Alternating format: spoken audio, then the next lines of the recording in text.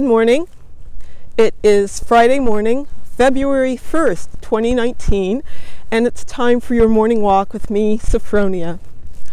I am not in New Haven today, I'm walking in my neighborhood. And that's because I've been away for a few days.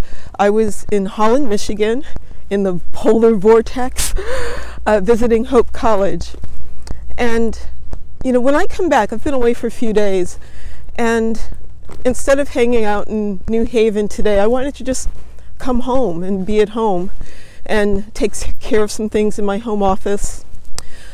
I'm going to talk about journaling this morning because for me, sometimes journaling is a coming home. Uh, we talked about journaling in a couple of the classes uh, that I've visited lately and the importance of journaling for a creative writer. Now, I know that oftentimes we don't have time to do writing, period, just to write a story or to write an essay, and we wonder, well, how am I going to find time to journal? But it is important that you make time for it. I find, especially if you've been away from the desk for a little while, journaling helps me come back to my own voice. It also helps me to think about uh, what I'm writing. You know, what is the problem with what I'm working on, or am I excited about it? And it's also a way to practice. You get to practice uh, what you sound like. You could practice. Uh, it's well, it's sort of like field notes on the world. You know, um, Thomas Jer- Merton, the monk, Thomas Merton journaled extensively, and there are times when I can tell that he's just observing, right? He wrote about the birds, the sound of the birds, and the quality of the sunlight in the little um, shed where he used to uh, write and read.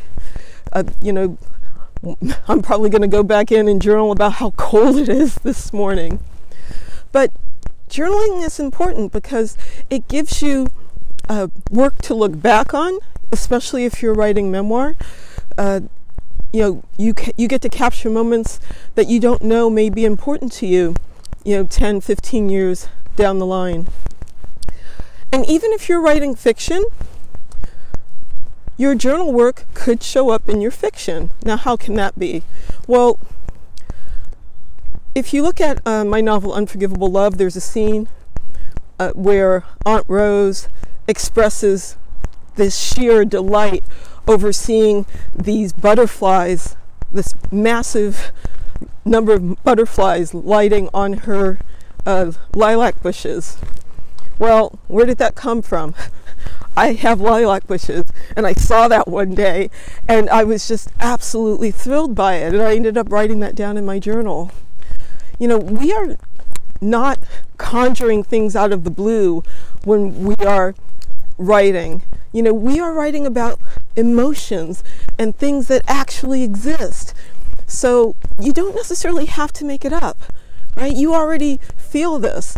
So take notes on it. You know, Charles Dickens, when he was trying to describe a, a facial expression, he would go to the mirror and he would make that face.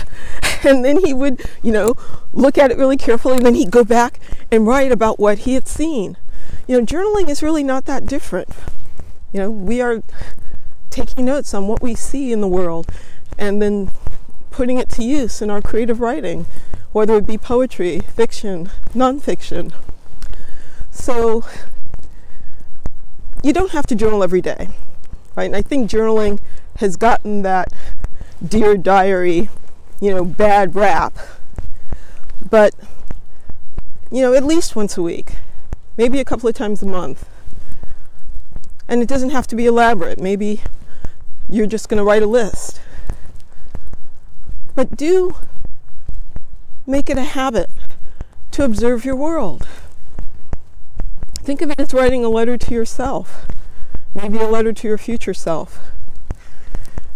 And know that in one way or another, these words will find their way into something. It's not a waste of time. So enjoy your writing. I will see you next week. and hopefully it'll be warmer. Take care. Bye bye.